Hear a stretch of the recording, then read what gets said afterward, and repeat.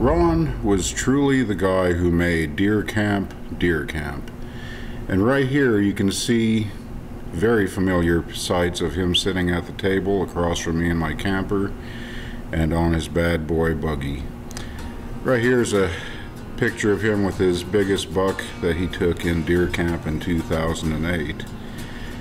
And we called him Ron D. Mercer because of his uh, he, he seemed kind of like Roy D. Mercer of Oklahoma radio fame.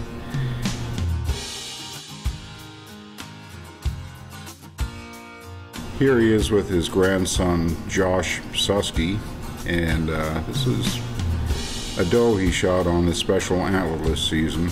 He was very proud of that deer. He shot it with his Marlin 308 Marlin Express rifle and uh, it's one of the last times he was out hunting.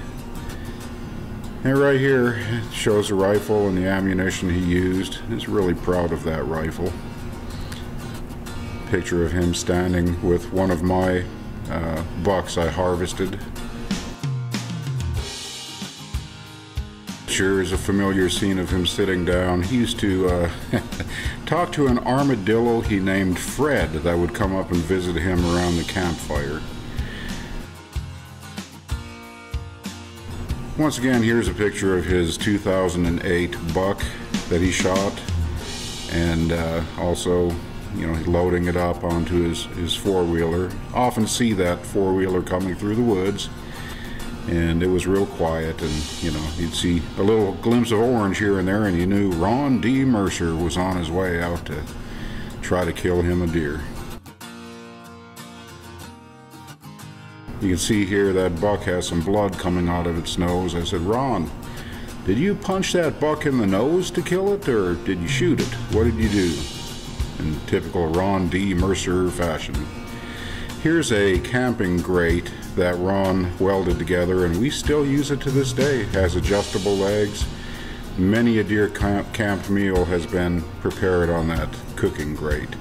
This rifle is my 4570 lever rifle that I got from Ron. The horse trader, so to speak, I got this 4570 rifle from him in exchange for a 44 Magnum revolver. And I had shot a black coyote that year, and in hindsight, it almost seems like an omen of things to come, sadly. Losing Ron, August of 2013. Also, Scott Millard was one we lost. He camped with us for a couple years. Great wit, great sense of humor. Picture of my dad and I back in the 70s. He's no longer among us either, and I reflect back on his wisdom. A picture of us with uh, Papa Craze on the right popping up there, and Ace He's new to our deer camp and we're glad to have him. And anyhow, here's a picture of Gary's dad who passed a while back and a picture of Gary when he was younger. That's where Gary's hunting legacy began. And here's Gary's dad securing the harvest. A nice looking buck and a doe. Looked like it was snowing out. But we have so much to be grateful and thankful for in our fathers. Lost another one, Shawn. He uh, was in our camp for a year or so, and uh, he had passed away unexpectedly. So we've had some loss. But old Ron, camp just will not be the same without you. We miss you sorely. Keep that fire stirred and the diet dew flowing around that around deer campfire in heaven, heaven, heaven, heaven, heaven.